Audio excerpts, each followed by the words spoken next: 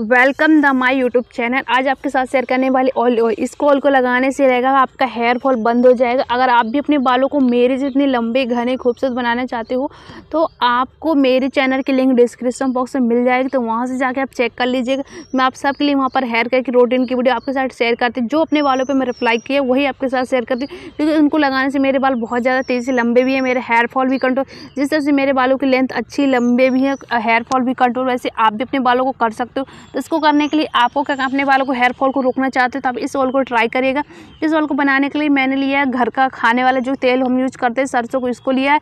फिर सेकंड हमारा इंग्रेडिएंट है, हमारा भिंगराज की पत्ती है जो सूखी हुई है तो उसको मैंने यूज़ किया है। आपके पास गीली वाली एलेवल तो आप उसका भी यूज़ कर सकते हो। अगर आपके पास पत्तियाँ गिर नहीं रहती तो आप ऑनलाइन आपको मिल जाएगी तो वहाँ से परचेज़ कर ले। ये हमारे बालों को हेयर फॉल को रोकने में हेल्प करता हो हमारे बालों को तेज़ी से घना बनाता है। ये इसका ऑयल अगर आप मार्केट में परचेज़ करते हो, भिंगराज का ऑयल तो ये आपको दो सौ, तीन का मतलब मिलेगा सौ एम मैं आपको घर पर ही बता रही हूँ, जिससे आपको इससे लगाने से आपका हेयर फॉल इजली बंद हो जाएगा, आपके बाल तेज़ी से घने होने लगेंगे।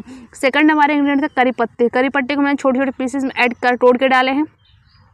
इससे ये रहेगा, हमारे हेयर फॉल को तेज़ी से जो बाल टूट रहे हैं, उन्हें रोकने में हेल्प करेगी। ये ऑयल को आप लगाओगे, एक हफ़्ते के अंदर ही देखना, आपके जो बाल पहले जितने टूटते थे, उससे देखना आपके बाल धीरे धीरे करके, आपके बाल क्वांटिटी कंटिन्यू यूज़ करते रहोगे ना, आप देखना आपके बाल दस से पंद्रह बाल ही टूटेंगे। तो इससे हमने इसमें लास्ट में ऐड किया क्लॉन्जी क्लॉन्जी हमारे बाल को हेयर फॉल को रोकने में हेल्प करता है तो आपको एक चम्मच ऐड किया।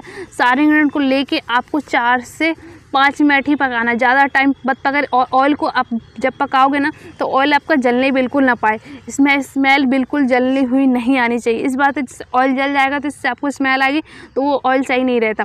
तो इसको आपको ज़्यादा टाइम के लिए नहीं पका, दो मतलब तीन से चार मिनट तक पकाएगा और भी लो फ्लेम पे पकाएगी तो आपको ऑयल अच्छे से पक जाएगा। जब आपके इंग्रेडिएंट अच्छे से मतलब हल्के हल्के क्रश तक पक जाएँगे तो उसके बाद आपको गैस को ऑफ़ कर देना, फिर गैस से नीचे उतार लेना। गैस, इसको देख सकते हो मैंने, हमारे अच्छे से पक चुके थे पक जाने के बाद आपको क्या करना है इसको छानना बिल्कुल, मैंने किसी भी कंटेनर में भर के रख लीजिए। आपको जितना जैसे आपने 100 एम ऑयल लिए ना तो उसमें 50 एम करीब आपको कैस्टर ऑयल मिक्स करना है। तो मैं इसमें चार से पाँच जब आप इस किसी भी बॉटल में भर के रखोगे ना तो उसी उसी के साथ में आपको जितना ऑयल है उसी के अकॉर्डिंग आपको अपना कैस्टर ऑयल मिक्स करना है। तो चलते इस इस ऑयल को लगाने से आपके बाल बिल्कुल भी नहीं टूटेंगे, अगर आप इसको ट्राई करते हो। क्योंकि मैं अपने बालों में खुद इसको रिप्लाई कर हूँ, जो मैं अपने साथ रिप्लाई करती हूँ बालों पर जो मुझे बेनिफिट मिला, वही मैं आपके शेयर करती हूँ। आपको कम से कम हफ़्ते में इसको तीन बार लगाना और आपको कब लगाना ड्राई हेयर बालों, जब बालों को धुल के आते तभी लगा, गंदे बालों पर बिल्कुल भी नहीं लगाना, जिससे आपका हेयर फॉल रुक रुक जाएगा।